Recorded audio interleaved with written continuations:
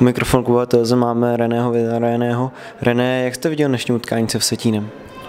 Tak super hrál velice kvalitný zápas. Už, už minulý zápas nám ukázali svou sílu a očekávali jsme, že to nebude lehké a v podstatě nás neprekvapili, hrali, hrali fakt vynikající. Škoda, že jsme dostali ty dva goly z penatry a, a že jsme ukázali nakonec tu sílu, že jsme dokázali ten zápas otočit.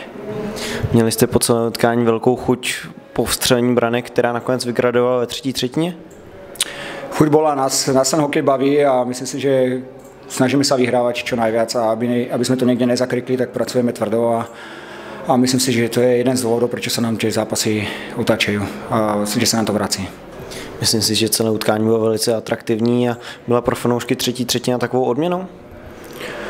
Tak domácí určitě zaslouží, že, se, že se to konečně zase nějak vyhrává, ale já si myslím, že ten hokej musel lidi bavit. Bylo to napjaté až do konca, bylo tam hromada soubojov a, a myslím si, že před tím playoff parádný zápas. Dvakrát jsme inkasovali v 5 na 3. Dá se říct, že nás to na konci možná i nakoplo? No, to vás nikdy nenakopne, to, protože jsou to, jsou to nějaké fauly a, a musíme se v tom trošku zlepšit. Vím, že ten první, tam jsme spravili mal, malou chybu, ale tak samozřejmě ono se to těžko brání penatry, ale ten druhý, tam se ani ten puk nějak vrátil, oni si to tam prehrali zprava doleva a už se na to těžko reaguje.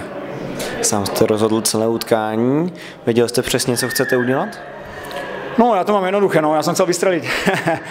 jako město jsem mal jasné, a kdyby tam mal lapačku, tak to chytí, no, a naštěstí to tam prešlo, no. Přemýšlel jste o tom, že je v opačném gardu brankář? Popravdě musím dať teraz trošku tu na pochválit našeho trenéra Golmanov, máme nějaký rozbor a, a takže určitě jsme věděli, že, že Golman chytá na druhou stranu a máme tam, dá se povedat, taky leták, taky návod na to, že kam střílet, takže já jsem ho poslouchal. Teď vás čekají tři zápasy na venkovní půdě. Bude to dobrá průprava před playoff na ty venkovní zápasy tam?